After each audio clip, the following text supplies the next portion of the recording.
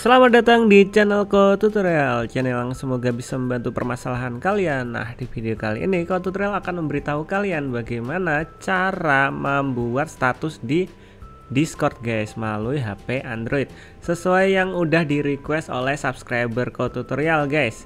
Dia tanya cara set status di Discord gimana. Nah di video kali ini Ko Tutorial akan memberitahu caranya.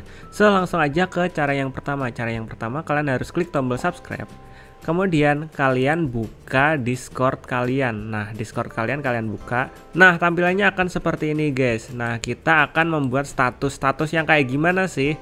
Nah, kalian bisa lihat di sini ada bendahara atau snap.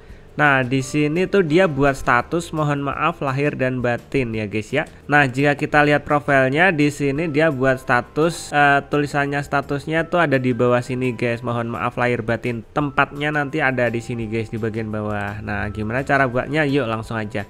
Nah, caranya kalian kalian ke bagian pojok kanan bawah yang gambarnya profil ini kalian pilih setelah itu kalian set status guys. Nah, kalian set statusnya. Nah, di sini tuh ada beberapa option pilihan guys. Ada online, ada idly, ada do not disturb, ada invisible.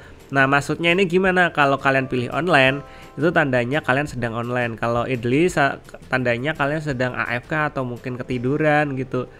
Kalau do not disturb itu artinya jangan ganggu. Nah, di sini tuh kita mau buat status yang kita buat sendiri. Nah, caranya gimana? Kita langsung ke bagian yang set custom yang set custom status yang di bawah. Kemudian kita tinggal tulis status apa yang ingin kita buat. Nah, misalnya kayak gini. Sedang kerja. Nah, misalnya kita buat status kayak gini, sedang kerja. Nah, kita juga bisa nambahin emoticon, emoticon-emoticon apa yang kita ingin tambahkan. Nah, di sini kok tutorial bakal nambahin emoticon senyum ya yang kayak gini. Nah senyum kayak gini sedang kerja. Nah kemudian setelah itu di bagian bawah sini kan ada pilihan. Don't clear clear in 30 menit atau satu jam. Nih maksudnya gimana? Status ini itu akan terhapus atau akan hilang setelah 30 menit. Nah, di sini kita bisa set setelah 30 menit hilang atau satu jam hilang, 4 jam hilang, atau mungkin terhapusnya setelah besok guys. Nah kalau di sini tutorial akan buat down clear guys. Soalnya kenapa? Tutorial nggak ingin hapus uh, statusnya ini. Jadi tutorial pilih down clear. Kecuali kalau kalian pengen buat, uh, bang aku pengen buat itu nanti terhapus setelah sehari bang. Jadi kalian pilih yang clear tomorrow nih.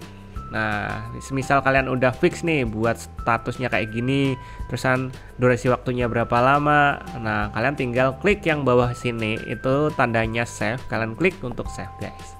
Nah, udah deh, udah tersave atau udah tersimpan. Mantap kan? Nah, ini ada tulisannya sedang bekerja, ya kan?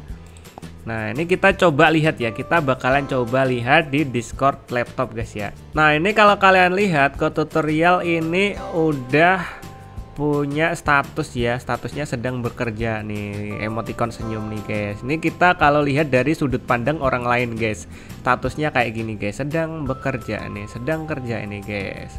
So kalian juga bisa kreasiin dengan status-status yang lucu atau menarik versi kalian ya guys ya So, sampai segitu dulu videonya kok tutorial. Jika kalian ada pertanyaan, kalian bisa komentar di bawah. Jika kalian pengen request tentang aplikasi atau program lain, kalian juga bisa komentar di bawah juga. Nanti kalau sempat tutorial akan balas atau bahkan buatin video tentang apa yang udah kalian request ya guys ya, kayak video ini. So, thank you yang udah nonton dari awal sampai akhir. Bye-bye.